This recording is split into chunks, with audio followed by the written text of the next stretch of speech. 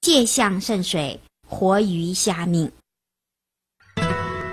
自从本师释迦牟尼佛降世以后，说法度化众生，从此世人才知道因果报应，戒杀放生。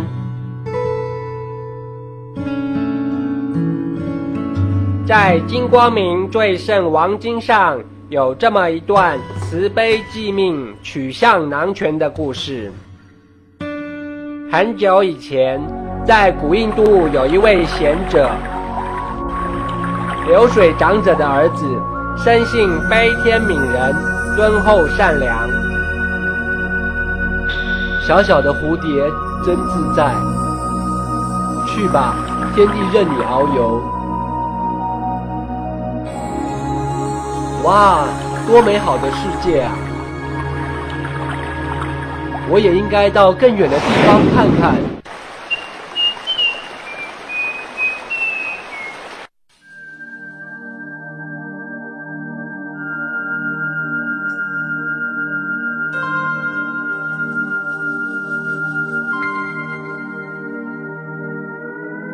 好大的太阳，真是热死人了！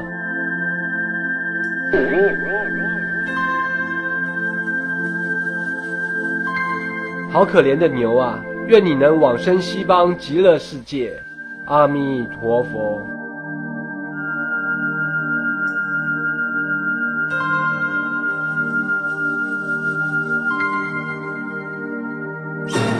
那么巨大的恐龙也难逃一死。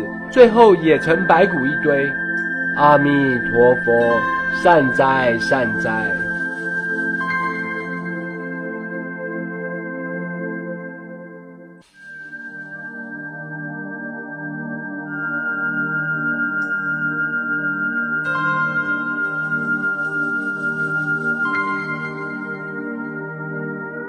咦，这是什么东东啊？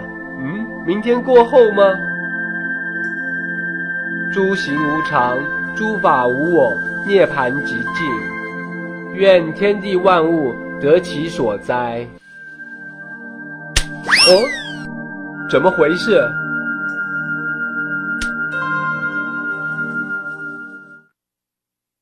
唉，又是一条小生命往生。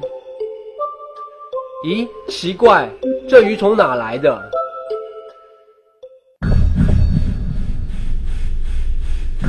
哇，原来有一座干涸的水池，那么多的鱼虾都快不行了，我要赶快去求救。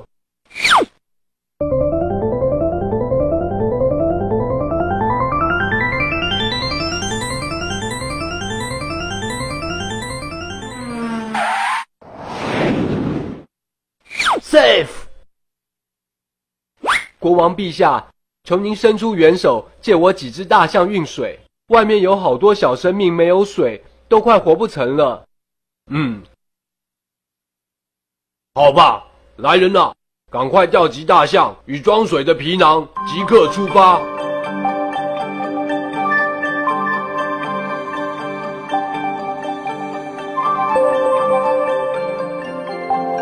哇，连小老鼠也来帮忙。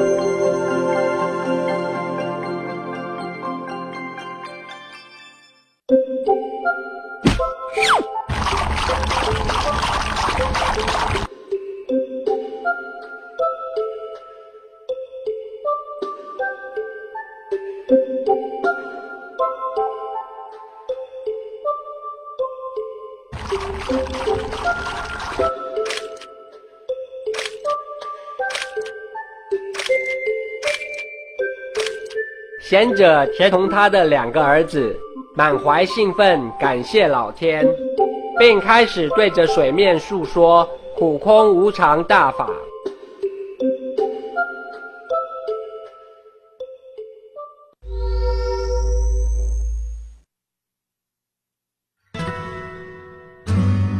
后来，鱼虾们因为闻法因缘，不约而同的都超升天道，